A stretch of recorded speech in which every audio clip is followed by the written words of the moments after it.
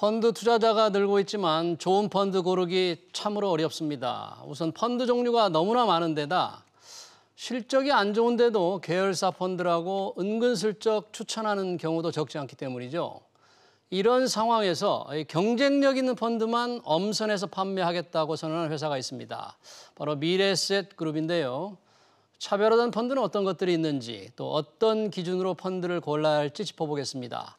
이상걸 미래에셋증권 WM 총괄 사장 나오셨습니다. 사장님 어서 오십시오. 반갑습니다. 네, 네. 안녕하십니까? 네. 지난 16일인가요? 미래셋 뭐 그룹 전 경영진이 나와서 네. 이 고객과 동맹 네. 실천 선언식을 했어요. 네.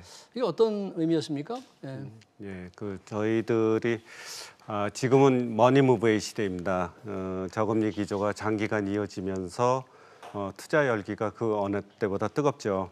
안전자산에서 투자자산으로 자금 이동이 어, 가속화되고 있는 그런 상황이고요. 어, 이는 다양한 혁신 테마와 투자 상품이 주목받는 긍정적인 기회인 반면에 음.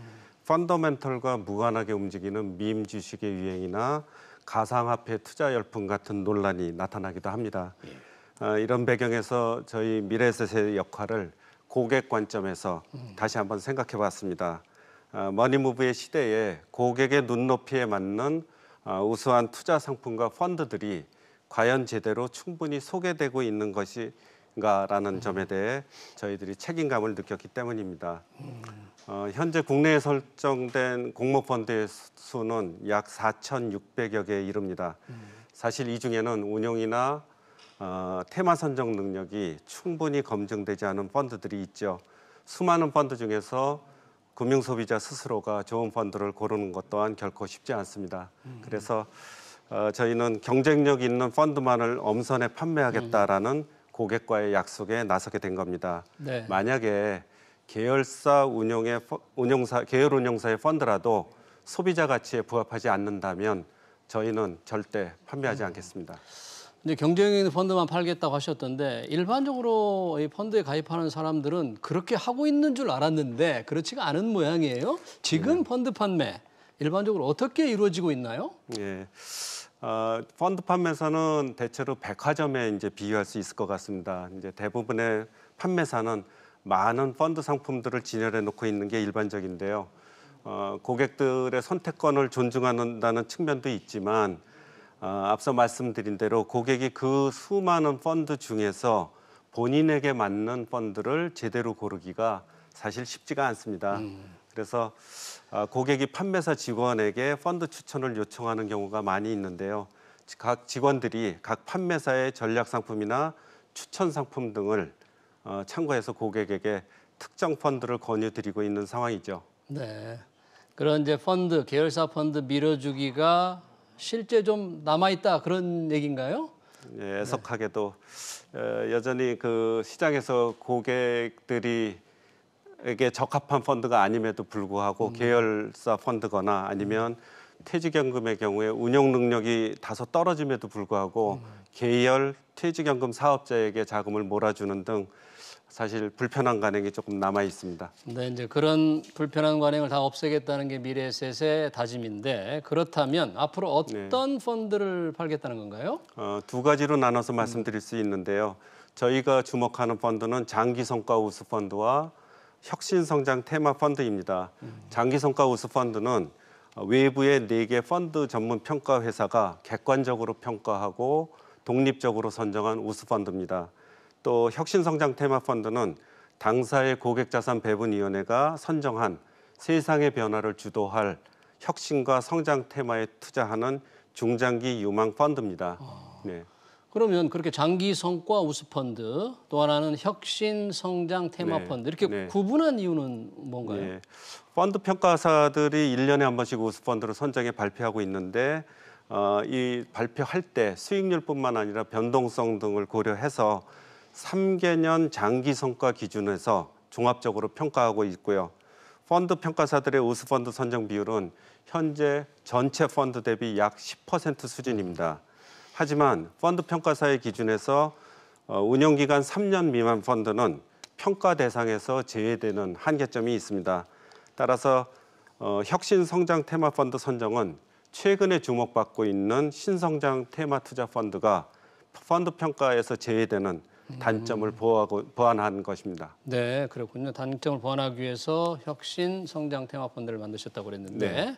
자 장기 성과 우수 펀드, 어, 혁신 성장 어, 테마, 혁신 성장 테마, 테마 펀드. 펀드. 그럼 네. 구체적으로 어떻게 펀드를 선정하는지 그 절차를 좀 말씀해 주실까요? 네. 어, 저희들이 1차 정량 평가와 2차 음. 정상 평가로 구분해서 진행할 예정입니다. 어, 1차 정량 평가에서는 수익률, 변동성 등 객관적인 데이터에 근거해서 장기 성과 우수 펀드와 혁신 성장 테마 펀드를 먼저 선별하고요. 여기에다가 2차 정성 평가의 과정을 더해 최종 판매 펀드를 선정할 예정입니다. 정성 평가에서는 어, 운용사의 안정성, 운용 프로세스, 리스크 관리 능력, 시황 적합도 등을 종합적으로 고려하게 됩니다. 현재 미래에셋증권이 판매하는 공모 펀드는 기존에 약 1,280개인데 보다 강화된 기준을 적용할 경우에 약 400개 수준으로 축소될 것으로 예상하고 있습니다. 더불어 히- 앞으로 외부 펀드 평가사와의 협업을 통해 1차 정량 평가 절차를 더욱 고도화하고 지속적으로 개선해 나갈 예정입니다. 그러니까 지금 미래시 파는 공모 펀드가 거의 1,300개 가까이 되는데 네. 한 400개 정도로 네. 줄인다는 거네요. 네, 한 경쟁적인 900개 펀드로만. 정도가 탈락하게 되죠. 탈락하면 네, 네, 네. 이게 400개가 다 미래셋 계열사 건 아니죠? 아닙니다. 그 중에서 네. 25%만이 미래에셋 계열사 펀드고요. 네. 75%는 타 운용사 상품입니다. 다른 자산운용사거를 판다. 네. 그게 네. 경쟁력 있다고 생각하는 것들을 네. 산다 그런 얘기죠. 네, 그렇습니다. 그러면 아까 이제 펀드 평가를 한다고 했는데 기존의 펀드 평가가 사회사 펀드를 평가해서 우수한 펀드다. 네. 이렇게 과거 수익률 가지고 했을 텐데 그게 미래에도 네. 우수하다고 이렇게 우리가 확신할 수 있을까요? 어떻게 네. 연결되나요?